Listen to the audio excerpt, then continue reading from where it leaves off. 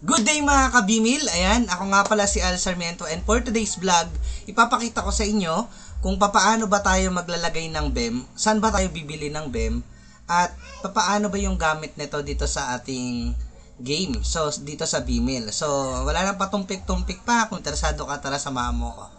So, eto nga, guys, ayan, nandito na rin tayo kaagad, no? So, mabilisan lang to guys, ayan. Ito yung update um, 7 hours ago. So, B-Wallet 2.0.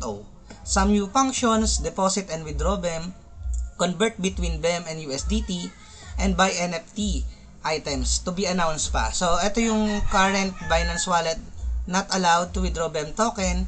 You're required to use MetaMask wallet for transaction. So, take note, kailangan natin yung MetaMask. So, kung wala ka pang MetaMask, um, I suggest na um, panoorin mo yung mga ibang YouTube na kung paano mag mag ano mag create ng MetaMask or papaano maglagay ng ng mga token or ng coin dito sa MetaMask.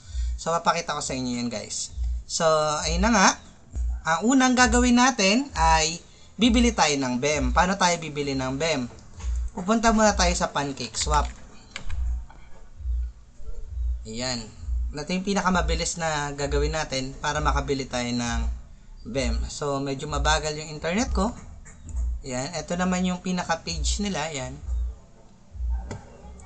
Ng, ng Bitcoin. Ito yung B-Wallet 2.0. Ito na siya. Ayan.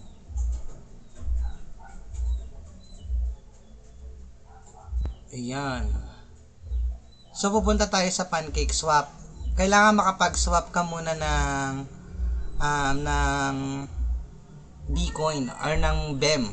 So, gagamit ka ng ibang, ano, kuwari, ito, BNB, ayan, tapos lalagay mo dito BEM. Yan, ito na siya, BEM, yan. Since na-add ko na kasi yan, na-incorporate ko na yung BEM dito sa Pancake Swap, mag-automatic na siya. Pero kung wala pa yan, dito, pipindutin mo yan, yung BEM na to, lalagay mo dito yung name or face, i-address, yung address ng BEM. So, saan mo makukuha yon? Punta ka sa coin, mar- coin market cap. Ayan. Dito natin siya makukuha. Search mo lang yung BEM. Ito yung BEM. Copy mo lang ito guys. Ayan, copy address. Then, i-paste mo lang ulit siya dito sa Pancake Swap. But then, ayan na, meron na kasi siya, kaya hindi mo na kailangan ilagay ulit. So, meron dito lalabas na import, then agree mo lang, then lalabas na yan dyan. Then, makapag-swap ka na.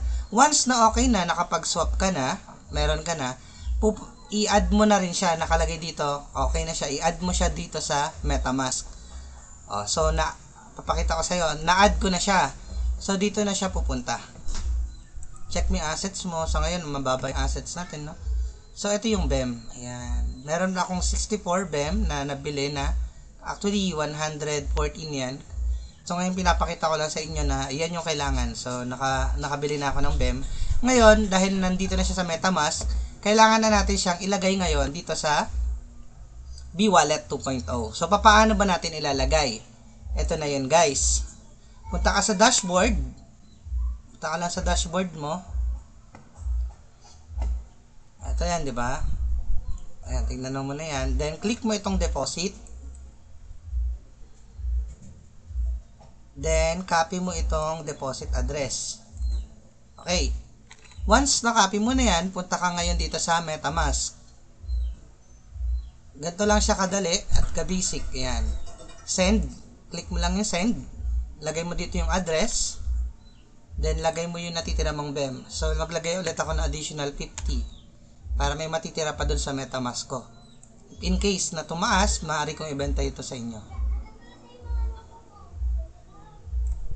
Ayan. So, yan. Kilik ko na siya. Wait na lang natin. Then, confirm. Para meron tayong in-game token.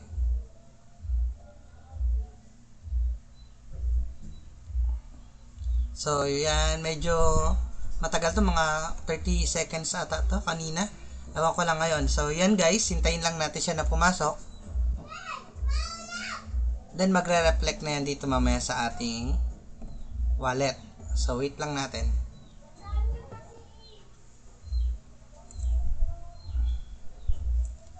close na natin yan. Check natin ulit to.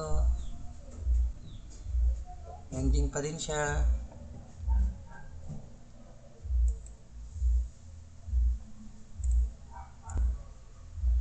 Ayan. So, while waiting, ito yung sinasabi niya, di ba?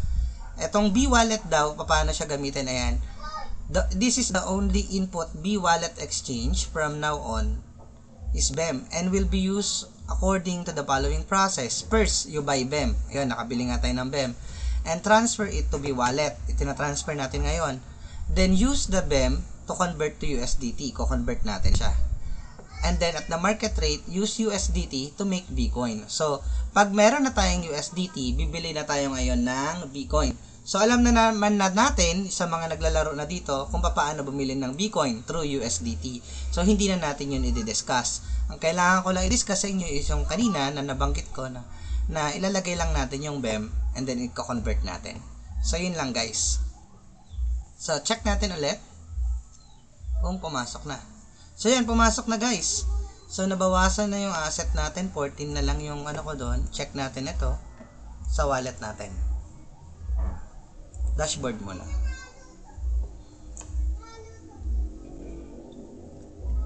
So, meron na naman akong pumasok. Ito na guys, yung pumasok na wallet token ko, 50. Meron na akong wallet. Yan, 50 siya. So, ngayon, paano naman natin siya i-convert into USDT? Click nyo lang tong swap. Ayan, o, swap. Mas pinadali, mas pinabilis, mas pinaganda itong ating B-Wallet 2.0. Grabe siya. Ang ganda, di ba? 5, 50, yan, 50. Then, wait lang natin, lalabas yan. Ayan, so yung 50 BEM mo, 23 USDT na siya. Swap natin ulit. So, magkano yung 53? Yung, yung 23 USDT, 50 BEM, no?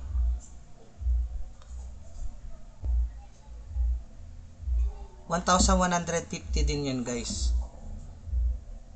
So, okay na. Check na natin ulit kung pumasok. Ay, ito na siya. Pumasok na nga. Ang bilis, di ba? Pagka-swap mo, ito na kagad siya. So, so, pumasok na yung another 23. So, 47 na yung USDT ko. So, onti lang naman yung charges. Ayan. So, ngayon, um, okay na. Um, bibili naman ako ng aking Bitcoin. So, dito na. Sige, tuloy-tuloy na natin. Dito naman bumibili ng Bitcoin. Ta-transfer natin yung coin. So, to transfer coin, click lang natin yan. Ay, hindi muna pala tayo mag-transfer ng coin. Kailangan muna natin pumunta dito sa wallet. Transfer money. Check natin nga ito guys, yung mga ano nila. Ah, iba to. Um, dito sa Bitcoin. Trading market. Ayan. Bibili tayo ngayon ng Bitcoin. So, dito bumibili ng Bitcoin. Ganito na itsura niya. So, gamit ang ating USDT. So, para makabili tayo, check natin yung pinakamababa. Ilan ba yung kailangan natin? So, sa akin kasi di ko naman kailangan kasi meron naman akong mga Bitcoin pa. Um, kaya hindi mo nakabibili guys. So, dito lang tayo magbabay. Ayan. So, may USDT lang ako. So, nag-input lang muna ako ng USDT ko just to um, add kasi may gas nga dito sa in-game natin. So, yun lang. Uh, maraming maraming salamat. I hope na naintindihan mo ito. Bye!